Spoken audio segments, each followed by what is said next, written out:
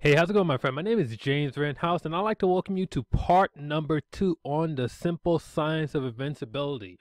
Um, today's video is called on always striving for active awareness, effectively utilizing what's in our power to control and direct our lives. I'm really excited to be talking to you about this today because if you got a lot of value from the previous video, and if you haven't watched that, then I definitely recommend you go back and watch that, which is called on the grand law of responsibility. And because this video right here is pretty much just going to build upon what we was talking about in the previous video but if you decide you really just want to watch this video that's totally fine because this video is more than capable of standing on its own. So with that being said let's jump right into it. Now the first thing now we talked about active awareness but i think it's important we discuss the inescapability of action and reaction.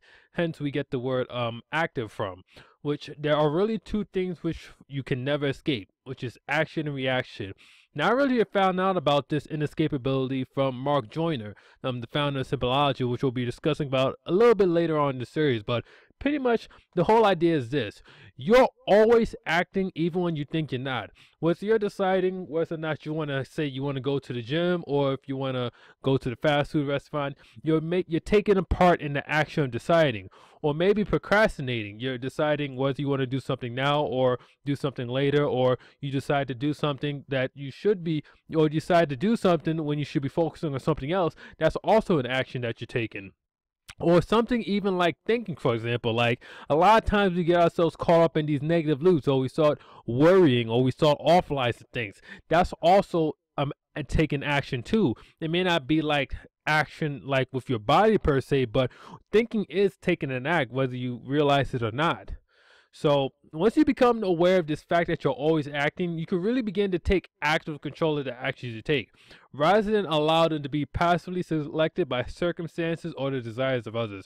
Now, I think this point is really important because a lot of times it's very easy for us to get caught up in the idea that circumstances and things from the outside world just happen to us and we just have to, accept it and there's really nothing we can do about that and what's correct in the truth of the matter is there's really nothing further there's really nothing further from the truth that's the truth of the matter there's nothing further from the truth it's that we really have within our own body within our own heart mind and soul when we just put all of that together we can go out into the world and control our experience of life. Like we can make our life a beautiful and powerful thing, but we only can do that by taking active awareness in things. Now, one of the things that really like helps that really brings us down like as people, as individuals in the world is really society. And I love society. I love being able to like communicate and talk with other people and stuff. But I'm talking about society like what like the TV, for example, right? Like it's very easy to just sit down in front of the TV and just kind of veg out for a couple of hours. You know what I mean? Like that's not really helping us go out there and like make take meaningful action in our lives. Or social media, for example, right? Like you have Facebook, Instagram, Twitter. I mean, you get all these different social media platforms that just saps away all of our time and stuff. And we get more caught up looking at what other people are doing instead of taking action and making our own lives better and it could just really like be just a massive time hole and also you got like celebrity gossip right it's like these days like a celebrity can literally take a dump in the bathroom and it'll be on the news like freaking the next day or whatever. Like it's really insane like how much access and how much we know about these celebrities. Like we probably know these celebrities better than some of the people that we live with, like some of our families and friends even. Because it's just out there and when you focus on that type of stuff, when you're focused on what who's dating who, who cheated on who or what have you, I mean that takes away from your energy and it doesn't facilitate acting in a way where you go out there and you act on the world. Instead, you just kind of see what's happening in the world and you just passively just allowing things to happen instead of going out there and making things happen. So really, the key to active awareness is really just to enjoy taking an active role in things and also to enjoy your awareness. You really need both when it comes to active awareness. You have to take an active role in things, meaning you have to go out there and you have to take action and you have to be aware of the fact that you're going out there and you're taking action on things. And once you have these two things working together, you have for yourself a really powerful combination. So if you haven't, if you're not taking active awareness things already, then I definitely encourage you to start doing that.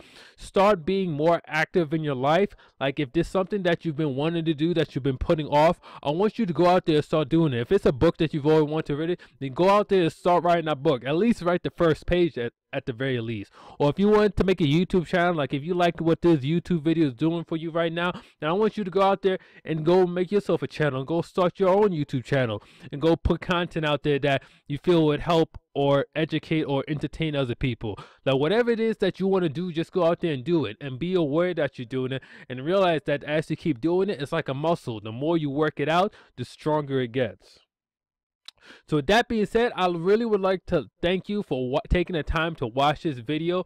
And also, I want you, if you haven't already, to hit that subscribe button down below so that way you can be notified. And also, don't forget to hit that bell a uh, bell icon too as well so that way you'll be notified as soon as the next video drop in the series. The next video that's going to drop in the series is called on focusing on the desired result. Just like the previous video we're going to build upon everything that we've learned already. First we talked about responsibility then we talk about active awareness. Next now we're going to talk about the desired result. So once again this is james Writtenhouse from jameswrittenhouse.com hope you guys got a lot of value out of this and i will catch you on the next video.